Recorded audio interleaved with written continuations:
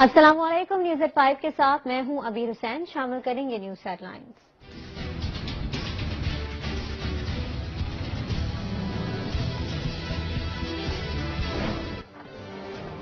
Steel mill बंद पड़ी है तो इंतजामिया क्यों रुकी है? बंद इदारे को किसी एमडी या चीफ एग्जीक्यूटिव की ज़रूरत नहीं। Chief justice Pakistan justice Gulzar Ahmed के स्टील मिल मुलाजमीन के प्रमोशन से मुतालिक केस में रिमार्क्स। कहते हैं इंतजामिया की मिली भगत के बगैर कोई गलत काम नहीं हो सकता। मुलाजमीन से पहले तमाम अफसरान को स्टील मिल से निकाले।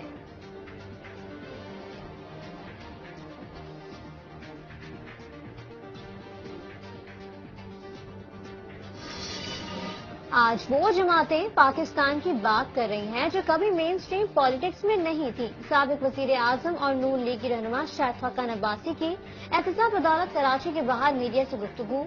बोले तारकिन वतन को इंतबात लड़ाने के लिए तरमीम लाई जा रही है। वज़ीर आला सिंध सैयद मुराद अली शाह से चीनी council general mister Li vision की मुलाकात। साइनफॉर्म वैक्सीनेशन की खरीदारी पर गुफ्तगू। मुराद अली शाह बोले, मुझे सिंध के आवाम को कोरोना से महफूज बनाना है।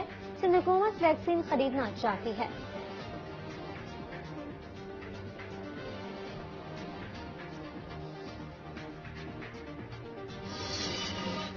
ईरानी काउंसिलर जनरल अहमद मोहम्मदी की गवर्नर सिंध इमरान इस्माइल से गवर्नर हाउस में अलविदाई मुलाकात।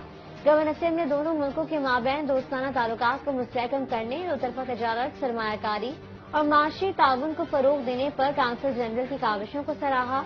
कहा, पाकिस्तान और ईरान के दरमियान कई दहाइयों से मजहबी रिवायती और तजारती ताल्लुक हैं।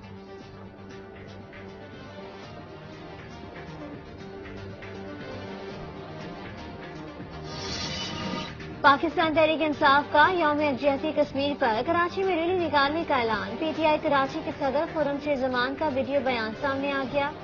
कहते हैं, कश्मीर का दर्द रखने वाले शहरियों को रैली में शिरकत की दावत देता हूँ। रैली का मकसद कश्मीरी भाइयों से इजहार एकजुटती है।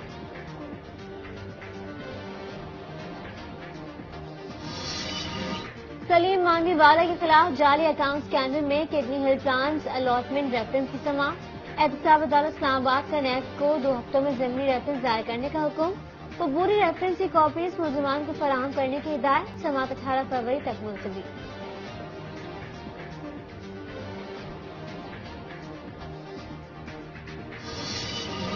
ऑपोजिशन जमातों के इतिहाद पीडीएम जमातों का सरबरा अजलास आज इस्लामाबाद में होगा। हुकूमत के खिलाफ तहरीक लॉन्ग मार्च, असेंबली से इस्तीफे या धरने पर हमत अमली बनाई जाएगी।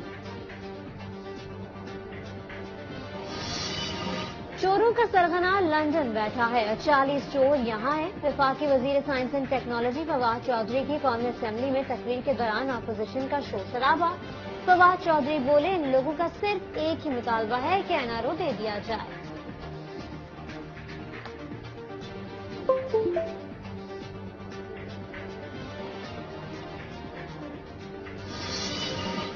ऑपोजिशन कहती थी इस्तीफे उनके मुँह पर मारेंगे, लेकिन दे नहीं रहे। ये इससे दस गुना ज़्यादा भी कर ले तो इमरान खान नहीं बदलेंगे। कौमी असम्बली में मुराद सईद की तकरीर पर भी अपोजिशन अरकान का शोर शराबा। मुराद सईद बोले, अगर ये प्ले कार्ड लिखकर ना भी आते तो हमें मालूम था ये चोर है। इनको एनआरओ नहीं मिलेगा। भारत हमारी रियासत में तकसीम पैदा करना चाहता है। ज़रूरी एजेंडे को फोकियत नहीं दी जाएगी। इस्लामी तहरीक के रहनुमाओं की प्रेस कॉन्फ्रेंस कहा गिलगित बल्तिस्तान के अवाम अलहाक पाकिस्तान पर यकीन रखते हैं, भारतीय साजिशों को कामयाब नहीं होने देंगे।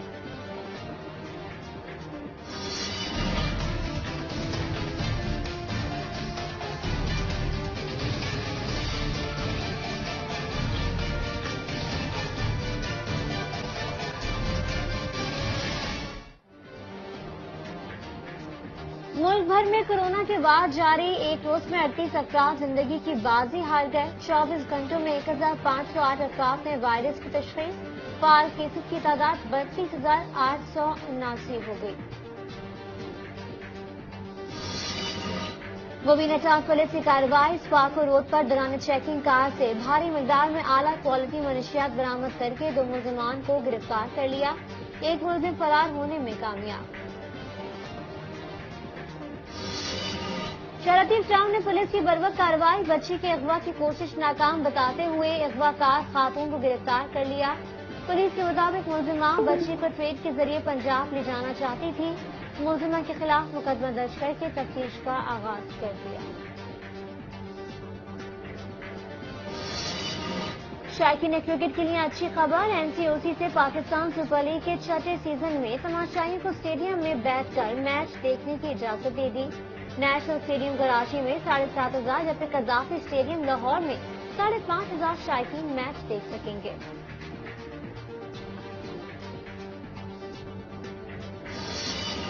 जनूबी अफ्रीका के खिलाफ दूसरे टेस्ट में पाकिस्तान की बैटिंग जारी। 145 रन के स्कोर पर टीम विकेटें गिर गईं। आबिद अली छह और अजहर अली बगैर कोई रन बनाए पवेलियन लौट गए।